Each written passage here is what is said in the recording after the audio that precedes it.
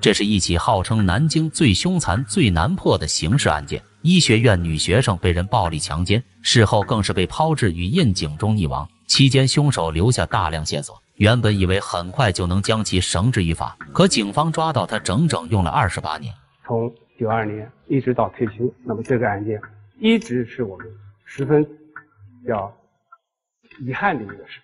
当年啊，在南京影响十分重大，呃，几代人都在努力破这么一个案子。是我们行政人的一个心结。时间：一九九二年三月二十四日。地点：江苏省南京市医学院。下午十七点三十五分，当地公安局接到报警，声称在南京医学院发生了命案。很快，刑侦技术人员陆续来到了案发现场。案发地四面环楼，中间有一个小院落，里面有锻炼身体的体育设备，以及靠着墙边的花坛。而就是在花坛的窨井中，警方发现死者。通过法医的初步勘查，死者为女性，头部有钝器击打的痕迹，且有被侵害的迹象。尸体下身赤裸，头部向下，脚部向上的被人塞进窨井中。经学校师生辨认，死者正是他们一直寻找的失踪人小林，今年二十二岁，江苏无锡人，曾是医学院八八级学生。与此同时，警方还在旁边的窨井中找到了死者的下身衣物以及其他随身物品。种种迹象表明，死者生前受到了非人折磨，而且凶手具有一定的反侦查意识。南京之前从未发生如此重大案件，警方立即成立三二四专案组，是要尽快破案，还死者清白，还社会安宁。警方兵分多路，一路侦查员对小林的社会关系进行调查，一路侦查员对现场进行勘查。据了解，小林是一个乖巧懂事的学生，学习成绩也是名列前茅，毕业后肯定是一名好医生。面对小林的突然死亡，同学和老师们都无法接受，更像是一道晴天霹雳。由于走访调查并不能得到什么有效线索，侦查员只好把希望寄托于现场勘查，希望在这里找到凶手的蛛丝马迹。在技术人员对案发现场做了更详细的勘查后，他们在现场周边发现了一些足迹。通过对其辨认分析，警方很快确定这些足迹是一名男子负重前行时留下，极有可能是凶手处理小林时留下的。同时，警方还在通往案发现场的楼道处发现了血迹。难道案发第一现场就在附近？可为何没人察觉呢？小林生前的最后时刻又发生了什么呢？带着这些疑问，警方对小林平时比较要好的同学进行了询问。据同学回忆，一九九二年三月二十日正好是周五，小林打算在教室自习后晚点回无锡看望下家人，所以当天晚上，即使小林没回寝室，就根本没在意。直到下周一的到来，小林还是不见踪迹。觉察到不对的同学就与小林家人取得联系，可发现小林周末根本没回家。这时大家才意识到，小林可能已经失踪了三天。学校开始组织大量人手去找小林要去的每个地方都去寻找，甚至连教室的天花板都去找过，可还是没找到。直到保安在走道中发现一把雨伞，寻迹在窨井中发现了小林尸体。通过后期法医的检测，小林具体的死亡时间是一九九二年三月二十日的二十二时到二十四时，具体死亡原因是溺水而亡。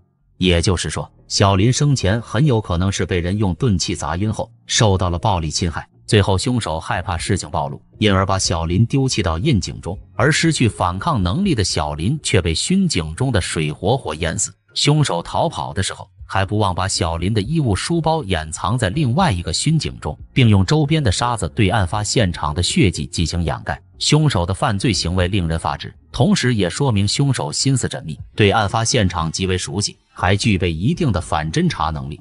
经过前期的现场勘查。警方确定了案件性质以及凶手的 DNA 信息和足迹，接下来警方就要以这些线索对凶手进行寻找和抓捕。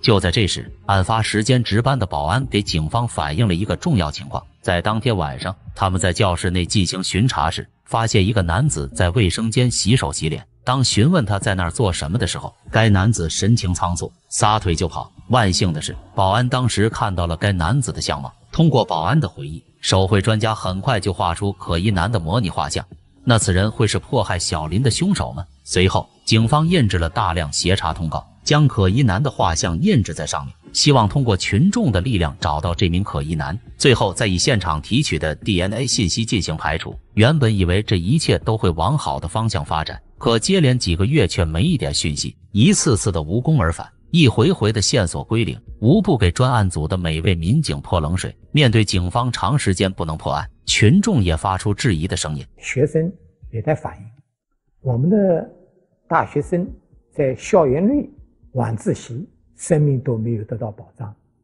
对我们南京的治安又提出了一个新的要求。压力越大，动力就越大。截止到一九九三年年底，南京警方一共核实了一万三千多条线索，排除了三百多可疑男。这期间，也有一条极具价值的线索进入警方视野中。在南京的一家机器厂中，有一个叫郝某的男子，曾经因为流氓问题被处理过。同时，他的女朋友也是医学院的学生，两人一起租住在医学院的对面。而且在案发当晚，郝某还去过学校，有前科，熟悉环境。甚至连年龄、身高都与现场找到的足迹吻合。很快，警方找到了郝某，可通过长时间的审讯，郝某仍然坚称自己是无辜的。只有证据才能让每位犯罪嫌疑人遁形。警方采集了郝某的 DNA 信息，当时由于技术手段不完善，技术人员只能一段一段的进行比对。在前两段，警方发现郝某的 DNA 与犯罪嫌疑人的 DNA 高度吻合。以为这起案件就此侦破之时，技术人员传来消息，郝某后续的 DNA 信息与目标 DNA 比对不上，这说明郝某并不是犯罪嫌疑人。这条线索的排除，案件又一次回到了原点。随着上世纪九零年代初，社会在快速发展，南京当地涌来了各式各样的打工人，社会治安问题也日益增多，各种疑难杂案也变得越来越多。南京警方并不能将所有精力放在一起案件中。他们只好把一些精力转移到其他案件中，留下少部分人对三二四案件进行侦破。案件无法侦破，死者无法得到清白，家属无法释怀。每年的三月二十日，小林的父母都会从无锡来到南京，在医学院祭奠自己的女儿，然后就去公安局询问案件的侦破情况。而这一习惯让小林的父母保持了二十多年。我连续接待了有将近二十年，心理压力比较大。案件没突破，总感到没法向他们交代。转眼间，二十八年过去了，警方在一次又一次的排查后，还是无功而返，案件成了悬案。直到二零二零年，公安部启动了“援建二零二零”行动。此次行动针对之前的悬案，要求各地使用最新技术来侦破案件，其中三二四是重点侦破对象。南京警方重启三二四专案组。虽然之前侦办此案的警察都已退休，但当时的案宗都还保留着。新一代的专案成员对案情重新梳理，并制成电子档，力争不放过其中的任何细节。同时召集当时负责侦办此案的民警，希望他们回忆当时有哪些线索没有求实。然而，这起案件一开始就只有犯罪嫌疑人留下的 DNA 信息以及脚印，警方也不知道应该如何进一步调查。之前的案发现场现在已经成为南京医科大学。再次从案发现场出发完全是不可行，警方只好一边把犯罪嫌疑人的 DNA 上传到数据库，一边对仅有的线索进行排查走访。事情的转机发生在二零二零年二月二十日，一组新的 DNA 数据让技术人员眼前一亮，系统显示这组 DNA 与三二四的嫌疑人 DNA 数据相似。得此消息，技术人员甚是开心，立即应用全新技术进行核实。在一次又一次的比对后，他们确定这对来自江苏徐州的 DNA 数据主人，正是警方苦苦寻找的三二四专案的犯罪嫌疑人。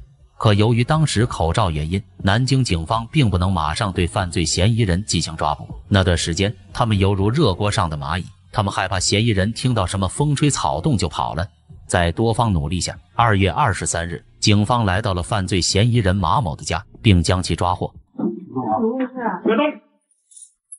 他知道我们是不是啊？啊，老实点啊！到案后的马某很快就承认是自己杀害小林的事实。当询问马某这二十八年就不知道警方在一直寻找他时，马某却说自己很少看报纸，也从未和自己的家人说起此事。虽然作案时的他只有二十多岁，但现在的他已经成家立业，甚至自己的孙子孙女都快有。直到现在，马某的妻子都不敢相信自己的枕边人正是轰动南京的强奸杀人案凶手。一直萦绕着警方二十八年的杀人动机，在马某的落网后，也终于水落石出。据马某供述，他自己平时有饭后散步的习惯，在案发当晚，在家吃完饭还喝了点酒的他，就来到医学院散步，期间就看到了正在教室学习的小林。见四下无人，马某就来到了小林身边，向他提出无理要求。小林肯定没有答应，并威胁要喊学校保安。被吓到的马某选择了离开。可他走着走着又觉得不甘心，此时正好在路边看到了一根铁棍，他就抄起那根铁棍回到了教室，用铁棍去威胁小林。可这次小林还是拒绝了马某的无理要求。恼羞成怒的马某趁小林不注意，直接用铁棍照着头部击打下去，瞬间失去抵抗能力的小林被马某拖拽到了一个阴暗角落。期间，小林试着再次反抗，可最终招来了更为凶残的毒打。见小林没有再反抗，马某对他实施了犯罪行为之后，慌乱的逃离现场。但跑着跑着又想到这样会很快暴露自己的行为，又立马回到了案发现场，将小林背着扔到了花坛边的窨井中，最后再把作案现场进行处理一下。由于当时下着雨，整个过程根本没人看到。事后的马某来到卫生间进行清洗，正好被巡查的保安看到，做贼心虚的他连忙挣脱，最后翻墙逃离了学校。之后的二十八年里，他努力让自己像正常人生活，即使当时这件事闹得沸沸扬扬，他也不和他人讨论这件事。原本以为自己能相安无事的度过余生，可他没想到的是，正义永不缺席，只是会迟到而已。最终，马某因自己的行为会得到一颗免费的花生米，而死者家属和三二四专案组因马某的到案，心中的那块石头也终于落下。我要感谢。那个南京市公安局严正局，这次把那个凶手二十八年把这个凶手抓来了。